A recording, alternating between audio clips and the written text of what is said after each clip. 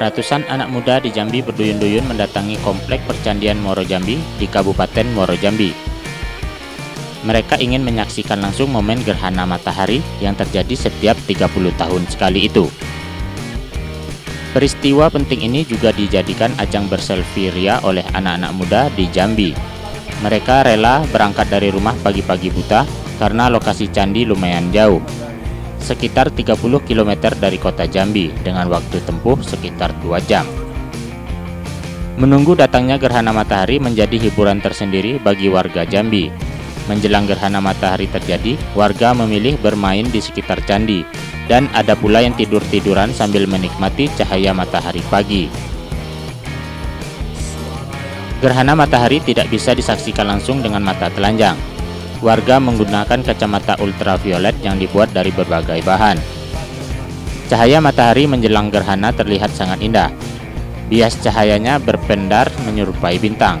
Saat gerhana terjadi, terlihat jelas cahaya matahari tertutup oleh bulan, membuat kompleks percandian Moro Jambi menjadi gelap. Gerhana matahari di Candi Moro Jambi terjadi sekitar pukul 7 lewat dan berlangsung sekitar 5 menit. Warga berdecak kagum melihat kekuasaan Tuhan yang jarang-jarang terjadi ini. Rame-rame datang ke sini untuk melihat uh, fenomena gerhana matahari, walaupun di Jambi cuma 98% ya, tapi uh, cukup excited untuk datang ke sini. Jam 5 subuh. Mbak, sudah pernah datang? Belum, ini pertama kali. Momen berharga. Menarik, mantap, mantap. Mantap. Apa yang unik, Mbak? Uniknya dia sabit kalau di sini kan. Itu lebih kayaknya lebih mantap bentuk sabit aja nggak ada yang lain seluruh masyarakat Jambi untuk mendorong mendorong kawasan Candi Muara Jambi Candi Muara Jambi ini untuk menjadi World Heritage UNESCO untuk menjadi warisan sejarah dunia. Karena itu peradaban yang hilang ini coba kita bangkitkan kembali ber, uh, dengan momentum gerhana matahari 98% yang ada di Provinsi Jambi. Peristiwa gerhana matahari di Jambi juga menarik perhatian wisatawan luar negeri, Dominik misalnya. Warga Republik Ceko ini sengaja membawa istri dan anak-anaknya untuk menyaksikan peristiwa gerhana matahari di Candi Muaro Jambi. Selain melihat gerhana, Dominic dan keluarganya juga bisa menyaksikan keindahan percandian Muaro Jambi.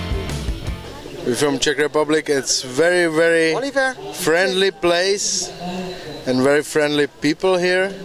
It's nice place in Indonesia, in Jambi. We, we see sun. It's I don't know. It's very nice, very nice. Thank you so much for for watching here. I don't know what to say now. Membludaknya warga yang menyaksikan gerhana matahari di Komplek Candi Moro Jambi membuat arus lalu lintas macet.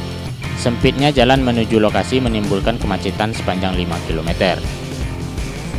Dari Jambi, Andra Rawas melaporkan.